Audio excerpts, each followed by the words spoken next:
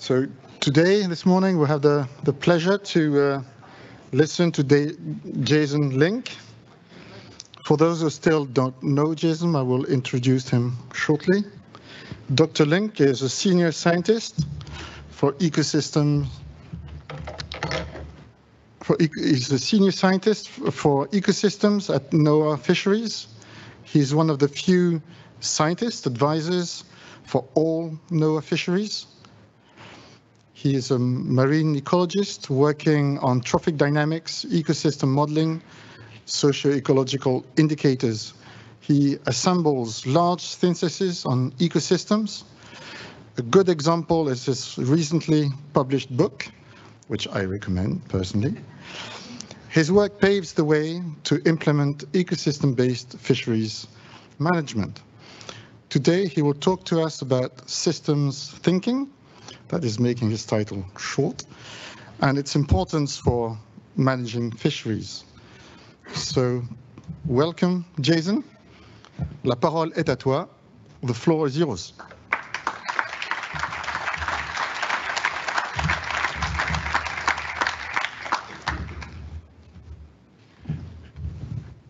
First thing I need to do is thank you all for coming. I was talking to the General Secretary of ICES. I haven't even gotten to the funny part yet. Um, Okay. And uh, anyways, he said, for those of you who showed up, braved the rain, stayed up last night, there's free beer all day today. I- ICES is paying for it, so. Okay, that wasn't as funny, sorry. Um, Thank you for the kind words, uh, Pierre. Um, Thank you all for the honor of inviting me to be a keynote speaker at this prestigious, prominent, and post-COVID ICES Annual Science Conference. I recall my first science conference. I remember sitting in the audience listening to the keynote speaker, and I vividly remember thinking, what is that old guy talking about? And how does it relate to my work? And I wish he wasn't so boring. So first of all, I'm not going to tell you what year that was or who the speaker was. Um, Next of all, I'm going to try to be engaging if you'll allow that. And finally, thank you very much. You've confirmed that I'm now one of the older guys. So um, seriously, thank you. ICES has been a great community to work with and partner with over the years. It's been wonderful to be involved with you. So I need your involvement, if, if you can agree with that, somebody nod or whatever, but um, thank you. Appreciate that. One of you did. Um, Trying to get the next slide. If I could have.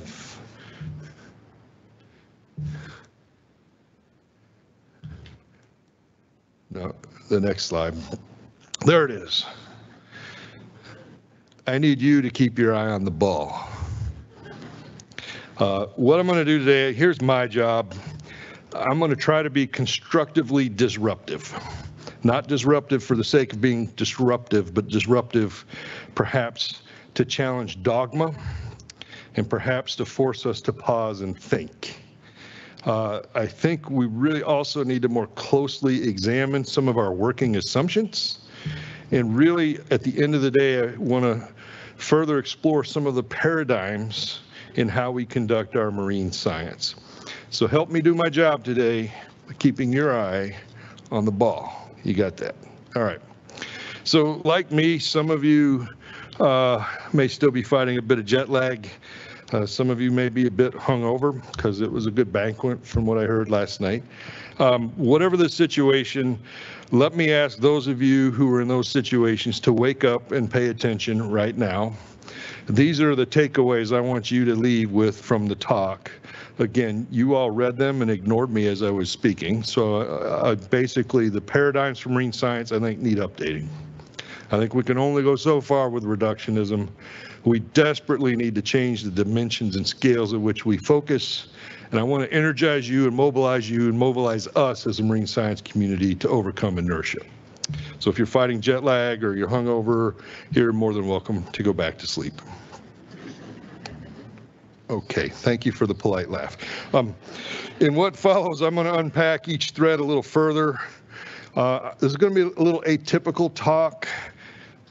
You probably, some of you might have expected that, but um, I'm going to give three or four stories I'm going to give certainly a few graphs, a little science, but I want to maybe focus on a few different things. So let me start with this.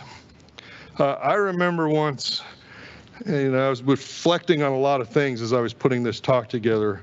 I was sitting in a forage fish stock assessment meeting. And there was all this arguing. You can see that arguing in that cartoon. And everybody was contentious and it was boisterous. And everybody was upset over this. And it got into this argument over fourth decimal point precision about B or F or something or other. And there was this parameter, and I think it was like herring, and you can see like there was this red bar there of 0.0004 or whatever it was. And I was thinking, what about M? And then we had the, the famous solution that you see there. So the next meeting, we came back and I estimated some consumptive removals and I presented them.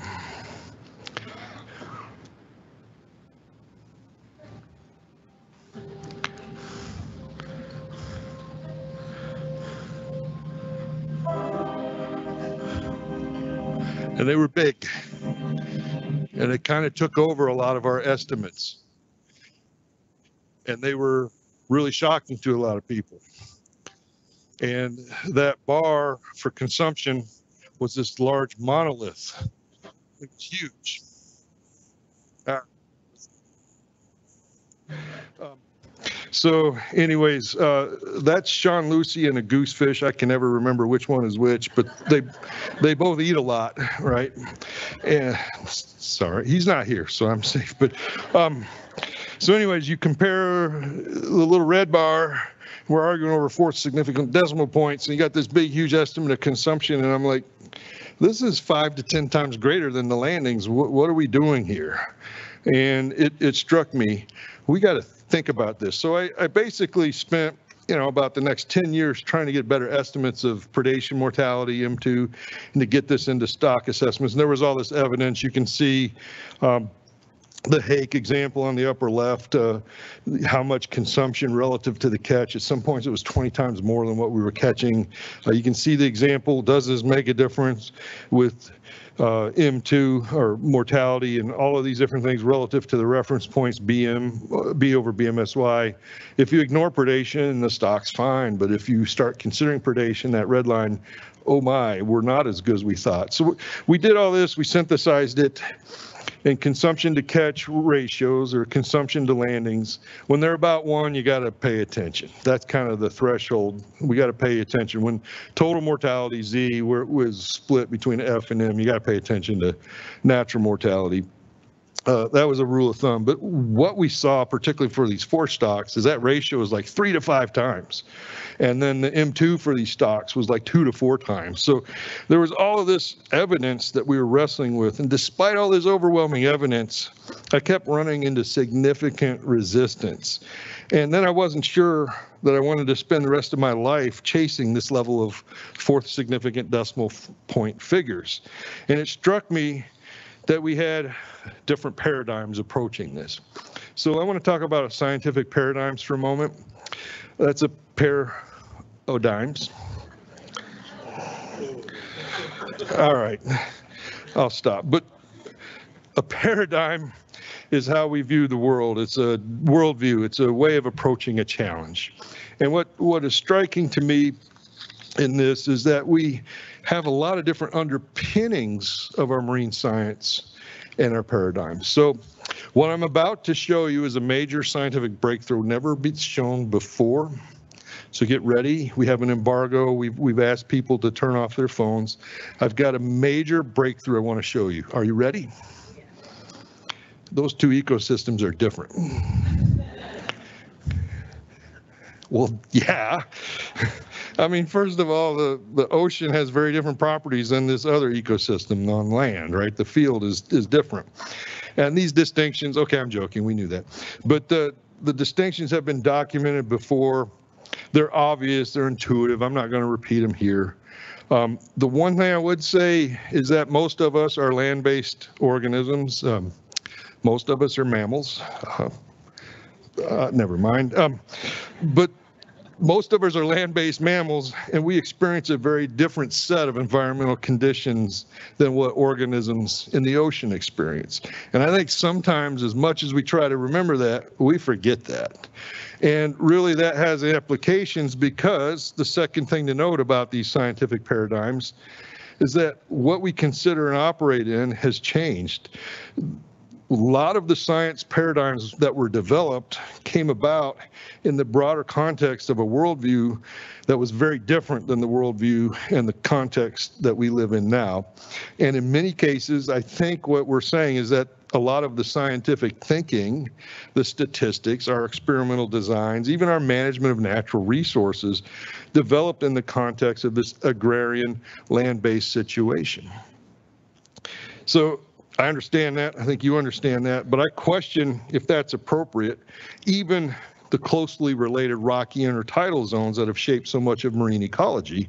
I'm not sure that's as appropriate for us now and for a lot of the situations that we're facing. So let me think about this and let me give an example. The third thing to note about scientific paradigms is that the conditions when science started or developed are very different. So let's compare some of those.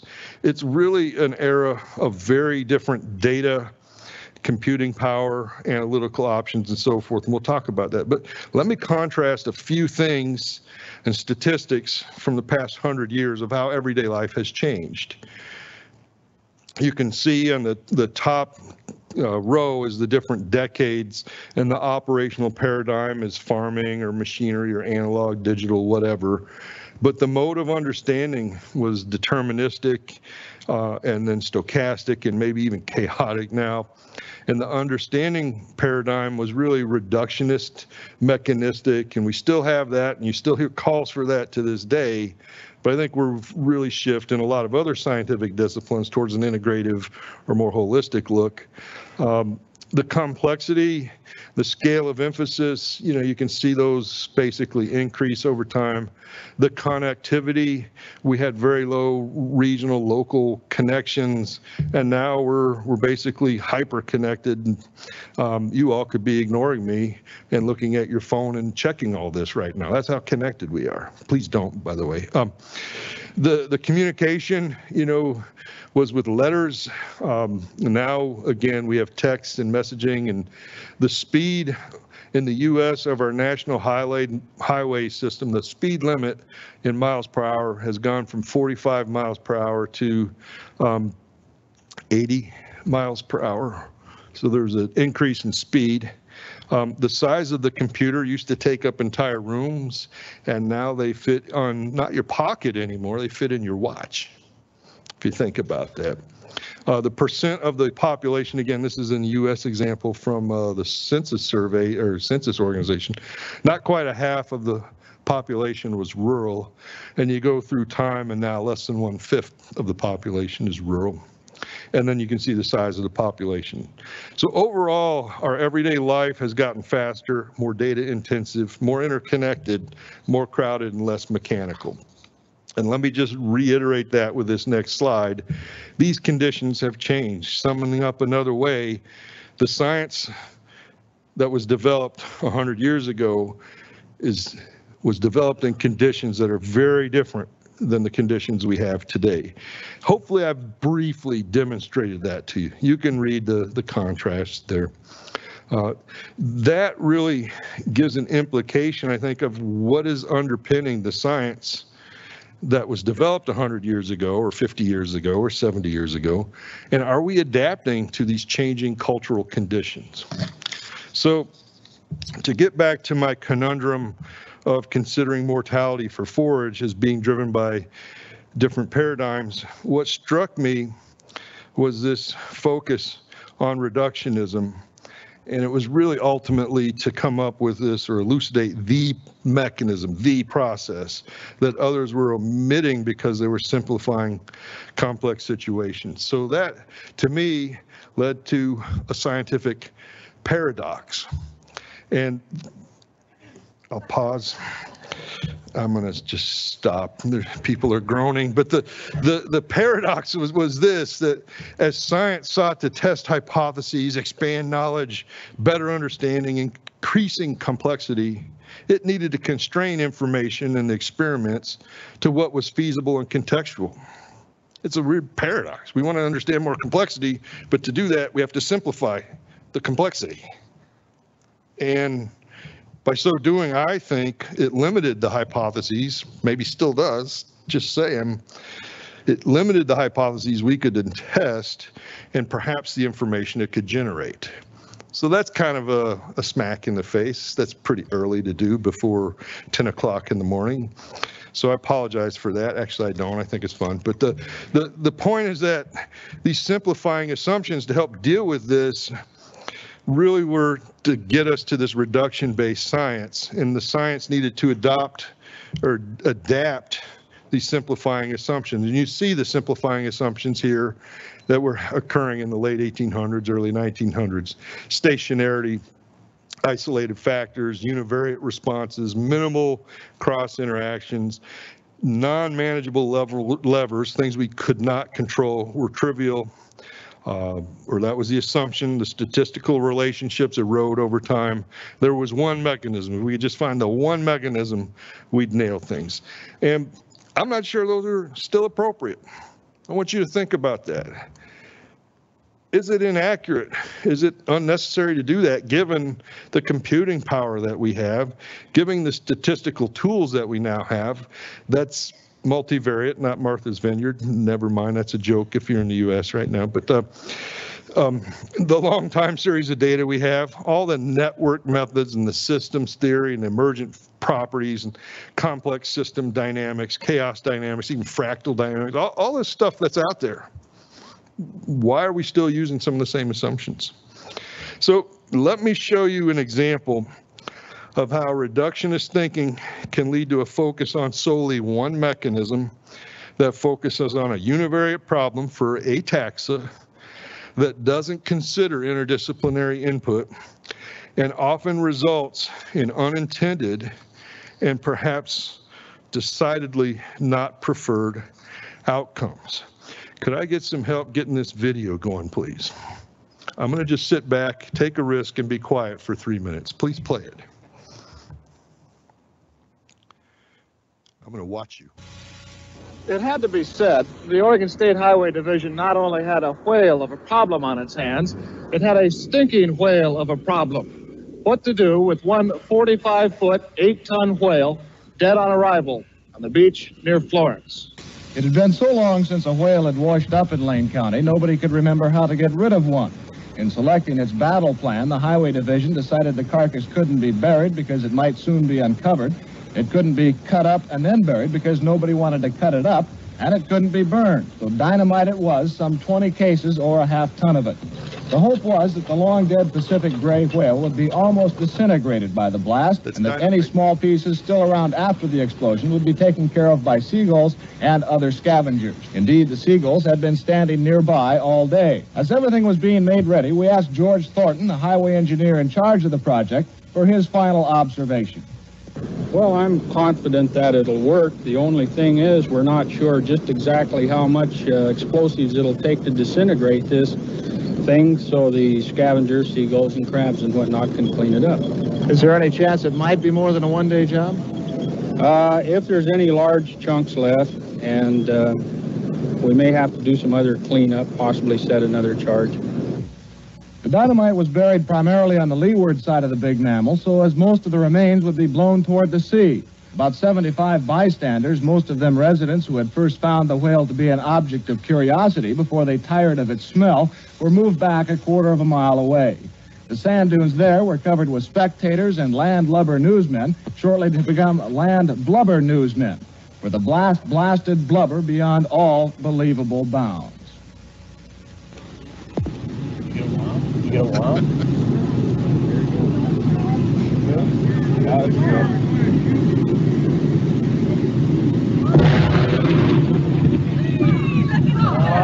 All our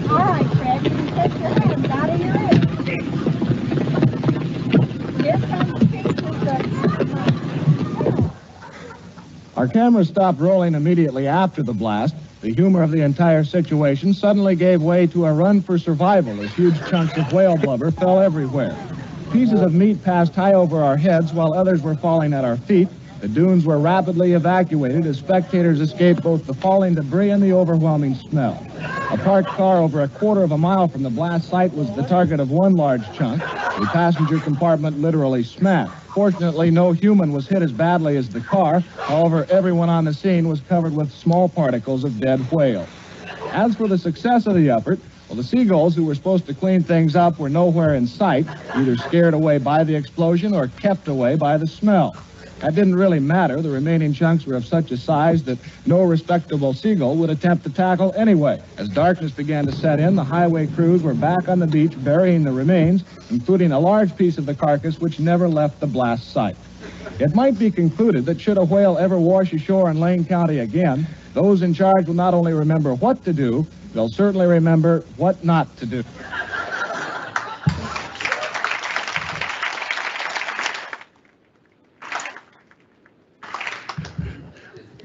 Thank you.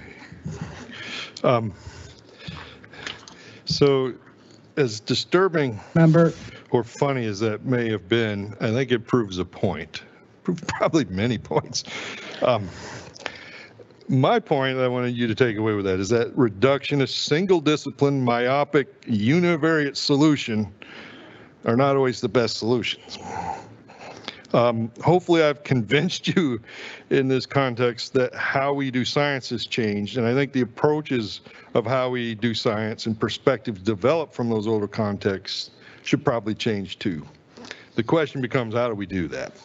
So this uh, is an excellent rendition of the North Sea from our colleagues at IMR in Norway. I use this all the time. Uh, What I would tell you is that life is multivariate. There's, there's the money quote, life is multivariate. You can, somebody can tweet that or whatever you call it, but life is multivariate.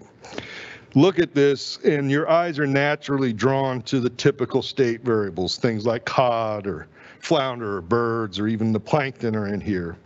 Even pot- potentially uh, physical phenomena like waves. And you might also see, if you look closely, some ocean use sectors like fishing or oil and gas, or implied maybe conservation or even tourism. But what about all the invisible parts of this ecosystem?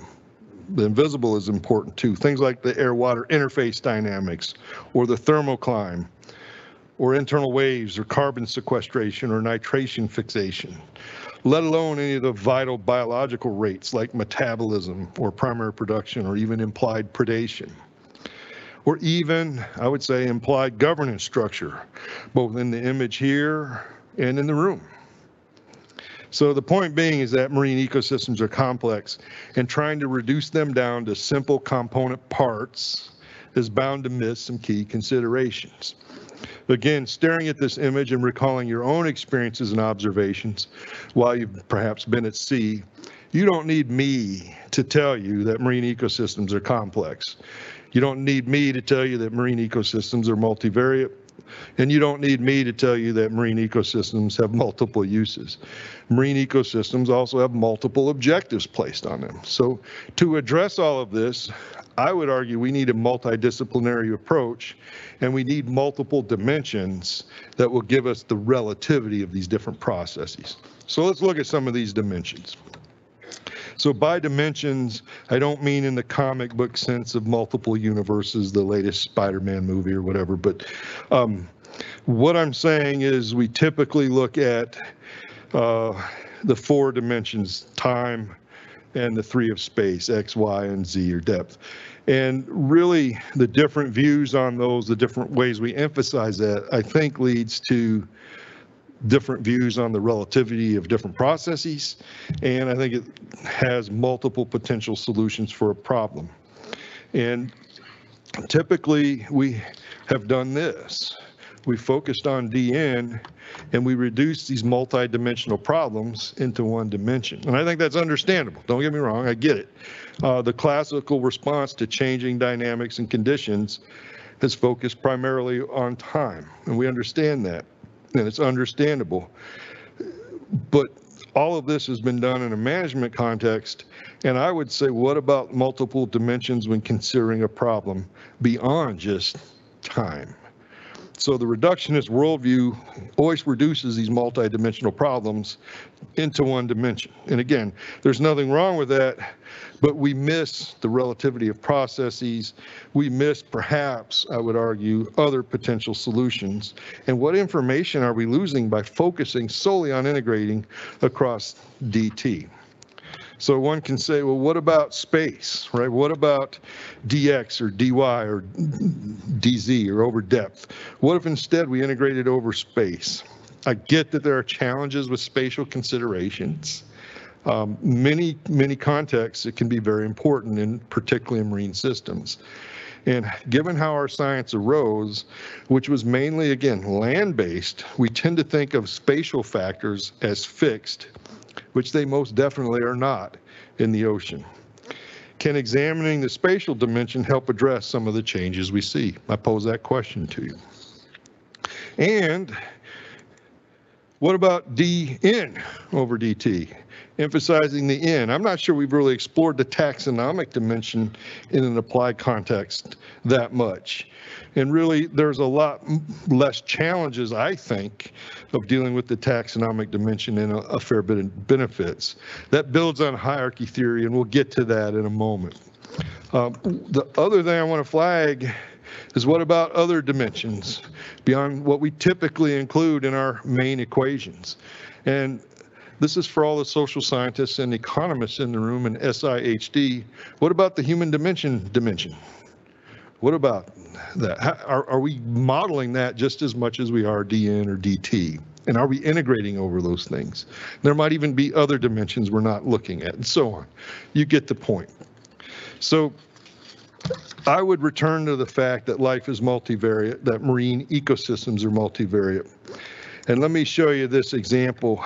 By omitting different dimensions, and especially by omitting different disciplines and variables, to try to get out of this multivariate complexity, we lose the ability to ascertain the relativity of processes. So some earlier work we had done in the late 1990s, early 2000s, which is now widely repeated, use this really impressive method. You ready? Wait for it. It's called multivariate statistics. No one's laughing. All right. And those multivariate statistics elucidated the relative importance of various processes, and we could get the, the time trajectory you see on the right picture with basically principal components, which has very robust and widely ignored assumptions. So the point is that you can use more savvy multivariate statistics and begin to understand the relativity of is it an environmental factor, is it fishing, is it whatever, and we're, we're doing that a lot more. And the, what this work highlighted was that beyond the historical fishing versus the environment debate that we won't repeat here, we often focus on processes, protocols, variables, whatever, that have had historical disciplinary prominence from there, a time when there was less information and computing power, but I think it makes less sense to do so now. There's a little challenge to us as a discipline.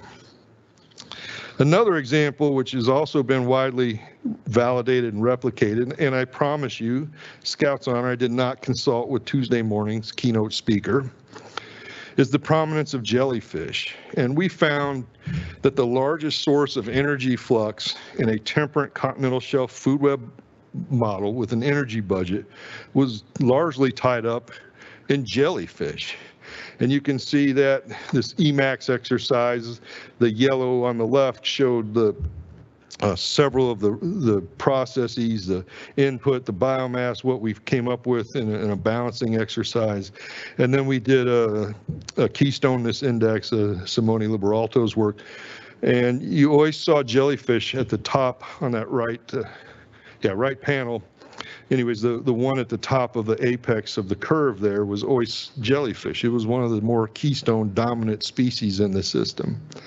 And that is a taxa, as we heard Tuesday morning, is rarely routinely and synoptically surveyed anywhere in the world.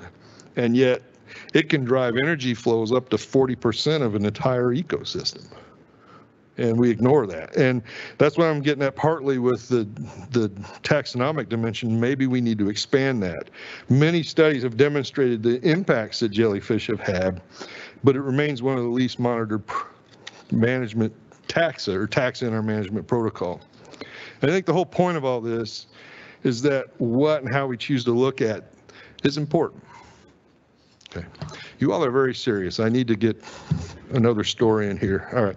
I have a confession to make.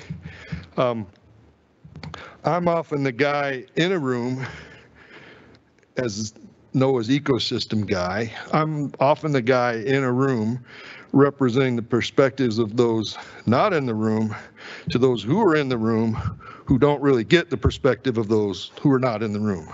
Did you follow all that? And I'm always like in the middle.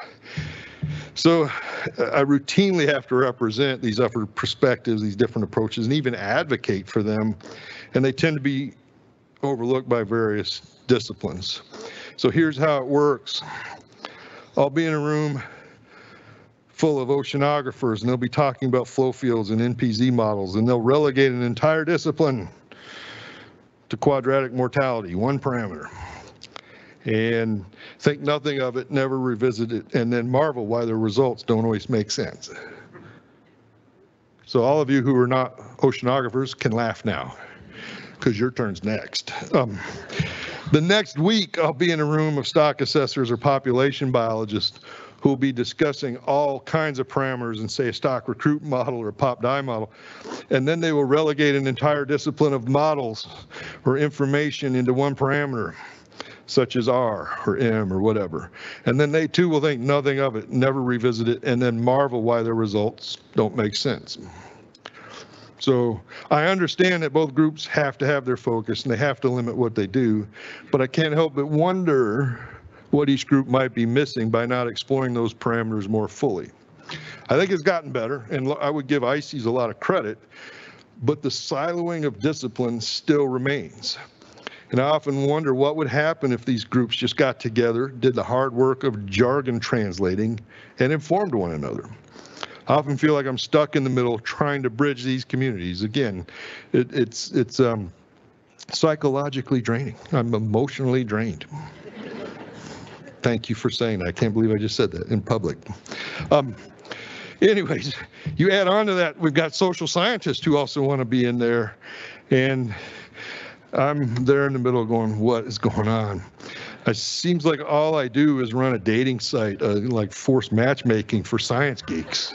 Can you go talk to them, please? You know, so anyways, so I'm asking you solely for my benefit and to help me feel better. Being selfish here. I don't care if we improve our science or do better management. I don't care about that. I just want to feel better. Please go talk to somebody, maybe with another discipline than who you're working with right now, and just simplifying their work into a simplifying parameter. I'm begging you, please go talk to them. Okay. So it's admittedly not all that bad. I do have group therapy sessions with other ecosystem modelers, and we um, just join all the disciplines and expand the heck out of all the parameters and just don't tell anybody. But uh, my friend Howard Townsend is great for group therapy. He was giving out business cards. He does have license uh, to deal with counseling, so that wasn't that funny. All right, I digress. Another thing to consider is that scale matters. The scale at which we operate on a problem is important. We've talked about different domains and dimensions, but we also need to talk about the resolution. And typically, we do so for time or space, but it's wise to explore these in the taxonomic dimension. R- Recall the Reynolds number, right? It results in either laminar or turbulent flows with all these bioenergetic consequences. You all remember smaller Reynolds numbers are more viscous and they're impacted by body size and whatnot. In this context, the key observation is this. You can have two organisms, and you see the list there in that table, say a whale and a copepod. You can have two organisms in the same body of water, and they can experience incredibly different conditions based on their speed, their size, water density, perceived viscosity, et cetera. That leads into their effective Reynolds numbers. And I think that has parallel application. So again, uh, you all are looking very serious. Let me tell you another story uh, about a cage match, really, that will return to this scale issue. In one corner, weighing in at a little over one kilogram, is the Atlantic cod, Gadus morhua, a demersal, mud-sucking omnivore that has formed the basis of entire cultures from Portugal to Greenland, from Canada to Norway, and it is the staple of fish and chips among many other tasty dishes. Is anybody here from the seafood industry? That was pretty good. Yeah, all right. Okay. In the other corner is the spiny dogfish. That's the villain of this match. Squalus acanthias, this beady-eyed little shark, this jellyfish and hairy-eating elasmobranchs that runs in large gangs. Sorry, large schools that can swamp bottom trawls and then also make up belly flaps for fish and chips because most British pe- people I know really don't care. I presume being here in Ireland, it's okay to pick on the English. Is, it says that. All right, I'm sorry. I need to apologize to our Brit friends for that joke, uh, except for Mark Dickey-Collas. I'm only giving him a half a apology because he reminds us he's half Dutch. So, uh, anyways, what was I saying? Uh, but A long time ago, there was this cage match about spiny dogfish eating all the cod on Georges Bank. So the situation was quite contentious. And at this point, all I have to say is that I have lived an interesting life. So it's okay, you can have to. Um, when I was going to a fisheries management meeting to address this cod dogfish issue, I was armed solely with data and overhead transparencies. For those of you younger in the crowd, we'll explain what overhead transparencies mean later. When I was going into the room, I was stopped and denied entry into the room. They said to me, Sir, you must stop. You cannot go in. I said, Why? He said, We do not allow bodyguards in the meeting room. They thought I was part of the posse to protect Fred Serchuk or Mike Sissenwine. I'm serious. This, this, uh, just the way those in the ICES secretariat are part of the posse protecting your new general secretary here. So, um, anyway, is. Hi, Alan. Um, after exclaiming that I was a bona fide scientist, I was a trophic ecologist, which kind of helps because that's pretty arcane and no one knows what it means. Um, and I got help from Fred and Mike. Uh, they let me into the room. And uh, the the part of the story that was intriguing, I was called upon to present information to point out. You can see it out there on the right. Nine out of 60,000 dogfish stomachs had cod in them, and that that's a small number.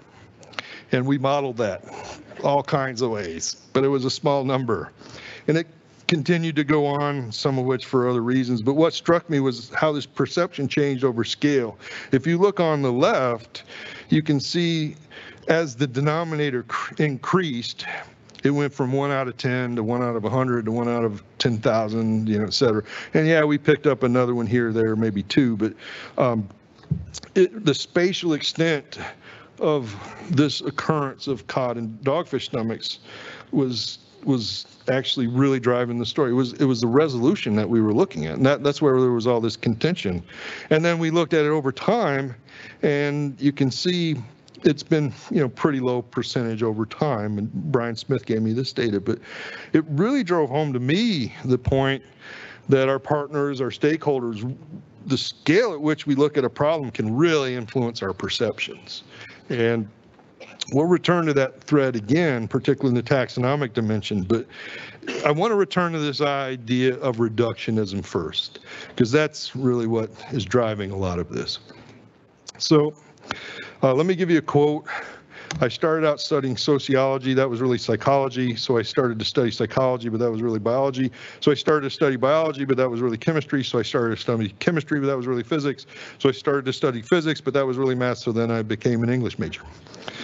And that's a paraphrase of a famous columnist, and you can see the, the cartoon there shows that. And, and I would argue that sometimes we reduce things too much. That's another good quote if somebody wants to, to quote that. or not, fine. Um, Hey, there are pros and cons to reductionism. I get it. There, doing that makes things more manageable. It reduces complexity. It leads to mechanistic insight. I get it. Uh, it isolates an issue from broader context and all these conflating variables. It embraces the maxim that a thing is nothing but the sum of its parts. Uh, on the opposite side, reducing things to their components parts doesn't always work, and it assumes that everything can be considered via constituent parts. And I I think that's false because it misses emergent properties here. And it also misses some other forms of information, and it- it neglects the idea that the whole is more than the sum of the parts. We could easily explore and expand on any of these. Uh, It can become quite philosophical, uh, but for today, I just want to revisit reductionism in the sense that I think it has limited our thinking, maybe even our science, the information available to us, and ultimately how it can manage marine resources. I really do think it has limited us. Uh, So let me highlight one or two major concerns res- with respect to reductionism. And, and the biggest one is that I think reductionism leads to precision traps. By the way, that picture on the left you can get from the website youthinkyourjobsucks.com. Um, uh, You can see precision is very tight, but accuracy is on the bullseye, and you can have one or the other. And I think my concern that I've seen over the years, and, and I would give you as much seriousness as I can showing a picture like this, um, the concern is we've missed information. I think we've missed accuracy, and I think we've lost information because we reject observations and inputs that are just not as precise as what we might have grown to become accustomed to based on our assumptions coming from science that was developed land-based in, in, in the agrarian context. Uh, I think there's a widespread prevailing assumption which would posit for us to know anything with certainty, we have to break it down until we understand all the mechanisms and more so understand and be able to quantify how all the sources of uncertainty play out. And I, I want to challenge that. I think the more precisely we can measure something, the better off we are if we lose accuracy of its meaning in the original context. That, that's a challenge. In other words, we often think we can get more precise in our measurements, but we lose the context, and we might even sacrifice accuracy, as you see in the, the bottom picture on the left with the bullseye. And I mean, that's why they invented Bayesian statistics, right? So that joke didn't land. All right. Um, I fear we've fallen into this logical trap of reductio ad absurdum with this confident, constant, constant emphasis on precision over accuracy, precision over meaning, and over understanding that I think we've begun to contradict, as that Latin term implies, broader forms of knowledge solely because they've not been decomposed or deconstructed into the reduction of component parts sufficiently enough. So I think there's a concern here. Maybe some of you disagree. Let's have that debate. Maybe some of you agree, and let's go for beer. But uh, fortunately, there are rigorous ways around or out of this trap. And I want to return again to how do we get out of these re- reduction-driven traps with this concept of the taxonomic dimension and scale. And really, there's this concept of all these other schools of thought that have emerged and arisen the past 20, 30 years, including systems thinking, complex adaptive systems, cybernetics, network dynamics, information theory, portfolio theory, this concept of emergence, et cetera. All of those basically point to hierarchy theory, and it really posits that um, properties of a system are different at different levels of observation. You can see the examples there uh, on those pictures. And there's really an ordering or a hierarchy. And again, I know those of you in the social sciences, particularly some sociology and psychology, there's a different context here. So that's not what I'm getting at. I'm just talking in natural systems, there's hierarchical ordering and complex adaptive systems. It's widely and commonly observed. And what you see is that this hierarchy is repeatedly observed. It's almost a central tenet of these systems. There's flexibility among the different system components. Higher system levels or levels higher up in the hierarchy exert constraints on the lower levels. The levels tend to operate at about the same rate, so things at the same level of hierarchy, you know, tend to function similar, and we see that. Think of a food web and phytoplankton dynamics versus whale dynamics or whatever. Higher levels tend to operate more slowly and a lower frequency at lower levels, and they're slower in time and larger in size. And the lower levels are the opposite, and you can actually pick up changes at these higher levels because of that uh, more quickly, which seems counterintuitive, but it's been been shown. And all of this again is re- repeated on tons of observations. And I would say there are practical ramifications from this in exploring data that way. Uh, we'll get into that in a second, but the taxonomic dimension or the systematic dimension, all these emergent features, if we return to that, we see that really as an example of hierarchy theory. We can probably begin to think about a suite of organisms in aggregate or a suite of organisms as a system. And again, when we've done this and we've begun to simplify the food webs into these more aggregate groupings, what we see is that we can detect major systematic changes quicker we seem to have more stable or robust uh, dynamics at these higher levels than we do at lower levels. There's less details to track in a time of constrained resources by all of our institutes. Uh, I really think you can get some performance metrics at an ecosystem level from this. And I think in a way, this is a form of dimension reduction. So just the practical ramifications of that are where we focus really determines the implications for what we see, how long it takes to detect, and how much we can deal with in any given period of time. And you can see the example there. Uh, on the left, you have a bunch of parts, and the guy's trying to make a watch. And then on the right, this guy has organized all the different parts into more aggregate groupings and he's also trying to make a watch. And one of them goes out of business because they don't have enough watches to make in enough time, and the other one is much more efficient and effective. And I, I'll show you examples of this and how that plays out in two different ecosystems here in a moment. But I think this really has ramifications for how we approach our hypothesis testing and exploring data. So I could get up here and say all this, and I, I know I'm good looking and cute and all that, but thank you for laughing at that joke. But uh, um, don't take my word for it. A lot of other people smarter than me have come to the same conclusion. Uh, Ludwig von Bertalanffy, and yes, that Bert von Bert, that's the same guy, came to that conclusion. The Odum brothers Buzz Holling, Simon Levin, Steve Carpenter, Gene Likens, Bob Ulanowicz. A lot of our contemporaries, you, you know the names, you can see them here. They're coming to the same conclusion that science has long been settled that reductionism isn't entirely sufficient, and we need to consider complex adaptive systems, cross-scale interactions, and emergent properties. So again, smart people, smarter than me, are saying that, so I'm paying attention to them. Don't just take my word for it. Not only that smart people are saying this, but let's look at evidence for it. So I'm going to give you two ecosystems here. Both of these ecosystems, I'm showing you landings and example stocks. Both of them have very dynamic stocks in New England and Alaska.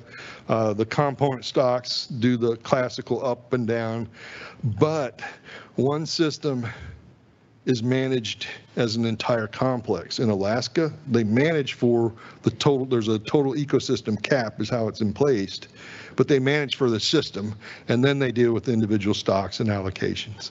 In New England, they're aware that the total system biomass is there and actually has been fairly stable over time, but they're managing on the individual stocks and the churn over time. What are the ramifications for that? Well, one system that manages on the stock by stock basis has a lot of overfished stocks, I believe that's the red line, and their value is a lot lower. That's the dotted red line. And the flip side occurs in the system that is managed as a system. Uh, The value has increased and gone up, and the number of overfished stocks or the risk to the component stocks is a lot lower. So we published that, got some attention, but uh, we start looking at these types of things over and over and over, and they're quite common globally when one looks at this. And I think frankly, these results are ignored and not taking up because our protocols and processes tend to discount these higher hierarchical levels. And because our protocols and processes are not set up to think beyond a reductionist manner. And I would argue we probably need to change that. I should probably stop soon, right? Good, because I'm on my last slide. Um, let me conclude. Let me reiterate the take-home points. Our paradigms for doing marine science need updating. Reductionism can only go so far. We really need to change the dimensions and scales on which we focus. And let's mobilize as a community to overcome the inertia, because we can do this. I think we can. So I'm pretty sure I did not cover everything that I wanted to cover or as well as I could have done or that you had hoped for, nor did I do so in an error-free, 100% convincing fashion.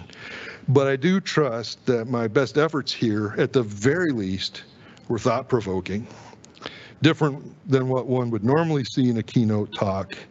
Hopefully they were engaging. Hopefully you kept your eye on that ball and maybe even mildly entertaining in one or two small points. I hope I did my job and challenged your thinking, and I challenged dogma, challenged our assumptions and paradigms. But more so, I hope I gave you some things to think about for further ongoing discussions in the future. So I sincerely thank you for your time and attention. Thank you again.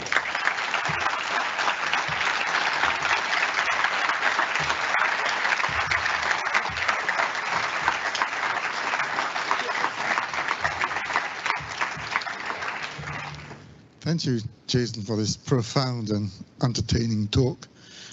We'll have a few mm, uh, moments for questions.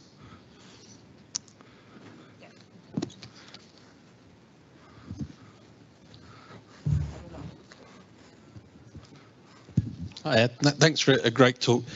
In English, we have a saying, never let the perfect be the enemy of the good. In other words, we can never know everything, but uh, if we're going to put every, lots of things together, how much complexity is enough that, yeah, because we can never know everything. Yeah, and thank you for not picking on me about fish and chips too. So, uh, um, how much do we need to know? And uh, probably a lot more than we do now, but probably less than we, we need to. I, I agree with you as the point is that we don't need to have perfect knowledge of everything to get moving on this. And that I think is the mentality that's hampered us. You know, we don't have the mechanistic understanding of 52 stocks and 47 plankton critters and so on. I think what we need to do is just get out there and try and start looking at these more holistic emergent things and looking at it systematically.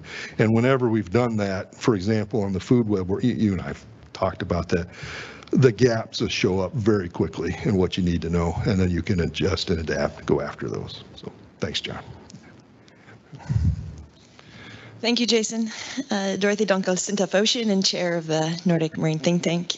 Very, very good. Thank you so much for bringing all this up because um, there are a lot of elephants in the room, as Jonathan White also showed in Kraken's Lair. Are we ready to be wrong, though? I think is one of the implications of this. And uh, there's one thing to be a good scientist, and another thing to be the messenger and trying to communicate for example, a stock assessment that you don't really believe in because of our institutional setup of how we do fish stocks. So what are the real implications for ICES scientists to challenge these paradigms? I suspect you have an answer to your question. I'm tempted to let you give it. Um, My sense is, yes, there are ramifications. Yes, there's practical limitations. Yes, there's history and structural stuff and so forth. My job today is to flag, hey, maybe we need to look at that. And maybe a bench scientist, a stock assessment scientist continues to raise that, continues to push for changes in terms of reference, continues to push for, hey, more systematic looks. But I'm also speaking to chairs of working groups and sessions and parts of the organization. Maybe we need to take a look at that ourselves, a hard look at that. Is there another way we can organize or structure our teams, et cetera, et cetera? I don't have that answer. I'm just asking the question. Maybe we ought to. Excuse me, we have a question from uh, uh, the internet. So we, we make it a bit complex, you know, people not in the room asking questions. Okay. In an environment of lots of competitive bidding uh, for funding, do you think that reductionism is part of a defense mechanism? Probably. Probably. You want me to elaborate? I'm by that look. Um, I think it is, and I think it's a way to deal with things. And I'm not picking on funding organizations, but I, having said that, you know now I'm going to that. Um, you know the projects are what three years in duration typically, or a couple years. They're limited in scale and scope, and and it, it's difficult if you're funding a bigger, more synthetic, holistic uh, thing because who gets left out, and that's a consideration. I get that. Uh, at the opposite side of that, maybe there are ways that we can begin to develop more integrated programs and having parts of the funding organizations within the organization equally be less siloed and maybe come up with joint types of RFPs or calls. So, so there's there's ways around it. There's we've we've looked at that in, in other contexts. So probably it is a defense mechanism, but there are ways to get around it. And again, it speaks to the structural nature of how we do science. That I'm again not expecting perhaps any individual scientist to change, but maybe to push for that change. And then as a community, if enough people are pushing, some of those structures may morph or change. So is that a better answer than probably? That's an answer. Anyway. All right, it's an answer. That doesn't make me feel good, but okay, It's got a lot of sense. thank you. Okay, Andrea Morf uh, from Nordregio and, and the Swedish Institute for the Marine Environment. I really sympathize with you. I have made a trip from natural sciences, converted to social scientists. Uh, now I'm exactly in the same position as you, sitting in the chair in between everyone. So one thing there, and I would like also to respond what uh, this person on the internet was saying about funding. This is something that I have discovered. If you want to go work interdisciplinarily, the funding signals are rather for disciplinary and for competition. And in order to do the kind of analysis that you're suggesting, this is really something that needs more financial uh, incentives. But as a representative of the Swedish Institute for the Marine Environment, I would like to ask a very concrete question about how do you think about environmental monitoring? Because uh, we are, so to say, advising government and different levels of governance on how to do the environmental monitoring. And what you're suggesting here is actually putting a lot of things together that have so far not been put together on one hand. And then I'm also thinking, I mean, marine basins are connected. So we need an international marine monitoring that is overwhelmingly big, but very interesting. So what are your thoughts how this could develop further? Yeah, the, the simplest answer to your question is maybe we just keep doing our monitoring, but we look at the data we already have in different ways. And we started doing that in NOAA, uh, you know, a while ago, and that's where a lot of some of these emergent insights started popping out. And there are enough global databases, there are enough satellite-derived databases. There's a lot more information than we tend to realize because we want to understand the length of the seventh seta on a copepod antenna in our particular bay. Uh, but there's probably, if we get past that level of mechanistic detail, there might be zooplankton data around a, a, an entire sea that could be integrated with some infrastructural changes or, or attention. And, and again, I don't know how global or international you're you're getting. I'm presuming you're talking in, in these regions here. The sense is just pulling people together and maybe incentivizing the data sharing and the data uh, inter interoperability and those availability, those types of things. And we see that happening in a lot of places, moving towards that. So those would be some simple things I would do to start. But I, I also take your point. There are integrated monitoring surveys is probably where we need to go. But I, I'm seeing that trend in a lot of places in the world where it's not just, you know, a whale survey, there's plankton, there's CT, you know, it, it, that's pretty common in a lot of places. So hopefully that helps give you some sense. So, okay. Thank you. Yeah. We have one Hi. last question here. in front. Sorry. Okay. Uh, It's very short but very complex. Thanks for the talk, Jason. Sofia Kochalski, University of Santiago de Compostela. I wanted to ask, is it now enough to put our models together? So do I stuck do I stick my governance model to a nice ecosystem model and then I have the complexity? Or do we need totally new models? And you hinted towards some disciplines like complex uh, complexity theory and so on. But if we take the models from there, maybe we make again the mistake which you said in the beginning oh we shouldn't have taken all the stuff from the terrestrial people so do we need to make up totally new models and methods or is it enough to come together and put our stuff together I would do that to start and see how you're doing. And model coupling is not easy, but it's not impossible.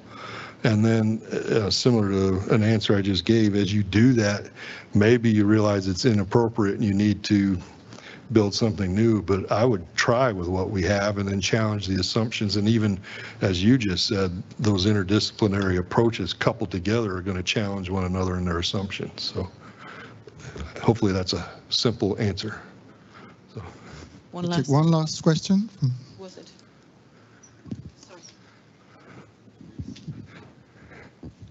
Uh, just this one should be quick at least, so that's good. um, it begs the question that when you're combining a lot of information with a lot of existing databases and a lot of models, this requires either a large team or a very long period of time. And it's definitely not a one person job to create a study like this or even a three person job most of the time. So science tends to have this pressure that you need to publish a paper at least once a year to survive.